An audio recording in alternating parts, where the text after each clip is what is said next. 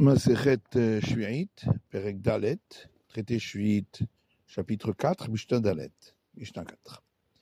Hamedel Bazetim, celui qui enlève des oliviers pour desserrer les plantations pendant la septième année. Chamayomrim Yagom.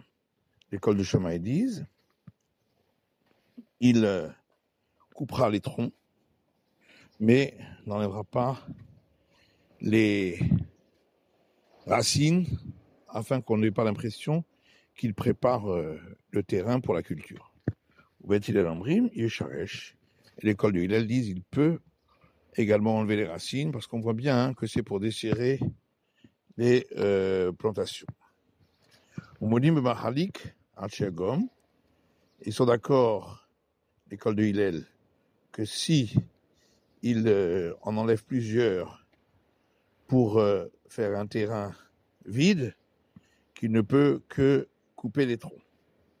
Ezeu Amedel, qu'est-ce qu'on appelle celui qui en enlève que très peu, et c'est lorsqu'il enlève un ou deux. Amachalik est celui qui laisse un terrain vide, Shlosha, c'est lorsqu'il en enlève trois Zé Betzadze, les uns à côté des autres. Bamedvarim Amorim, il torchait l'eau. Tout ce qu'on a parlé ici, c'est lorsqu'il enlève ses arbres dans son champ à lui. torcher le Chavero, et s'il le fait dans le champ d'un autre, Afabachadik et Sharesh.